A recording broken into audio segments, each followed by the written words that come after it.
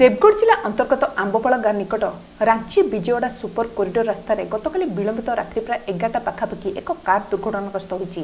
ଏହି କାର୍ ଦୁର୍ଘଟଣାରେ ଜଣେ ମୃତ ଏବଂ ଅନ୍ୟ ଜଣେ ଆହତ ହୋଇଛନ୍ତି। ସୂଚନା ଅନୁଯାୟୀ କାର୍ଟି ଦେବଗଡ଼ ଟାଉନର ଟିକୁଲ ପାଣିକର ବୋଲି ଜଣାପଡ଼ିଛି। ଦେବଗଡ଼ ଜିଲ୍ଲା ବଣିଆକିଟା ପଞ୍ଚାୟତ ନିକିତମାଳ ଗ୍ରାମ ବାସିନ୍ଦା ବୁଲୁ ବେହେରାଙ୍କର ପୁଅ ଦେବାନନ୍ଦ ବେହେରାଙ୍କର ମୃତ୍ୟୁ ଘଟିଥିବା ବେଳେ ଡ୍ରାଇଭର ସୁକୁଡ଼ା ପଞ୍ଚାୟତର ପୁତିବିଲା ଗାଁର ସଞ୍ଜୟ ନାୟକ ଗୁରୁତର ହୋଇଥିବା ଜଣାପଡ଼ିଛି। ଏହି ଘଟଣା ଶୁଣି ଦେବଗଡ଼ ପୋଲିସ ଘଟଣାସ୍ଥଳକୁ ଶହେ ଆଠ ଆମ୍ବୁଲାନ୍ସ ଜରିଆରେ ଦେବଗଡ଼ ଜିଲ୍ଲା ମୁଖ୍ୟ ଚିକିତ୍ସାଳୟକୁ ଅଣାଯାଇ ଭର୍ତ୍ତି କରାଯାଇଥିଲା। ଡ୍ରାଇଭର ସଞ୍ଜୟ ନାୟକଙ୍କର ଅବସ୍ଥା ବହୁତ ଗୁରୁତର ହେବାରୁ ଡାକ୍ତର ତାଙ୍କୁ ବୁର୍ଲା ବଡ଼ ମେଡିକାଲକୁ ସ୍ଥାନାନ୍ତରିତ କରିଥିବା ଜଣାପଡ଼ିଛି। ଦେବଗଡ଼ ପୋଲିସ ଏହି ଘଟଣାର ତଦନ୍ତ କରୁଥିବା ଜଣାପଡ଼ିଛି। ଦେବଗଡ଼ରୁ ଶିବାଶିଷ ଶଙ୍କରଙ୍କ ରିପୋର୍ଟ ଓଡ଼ିଶା ମୋବାଇଲ ଟିଭି।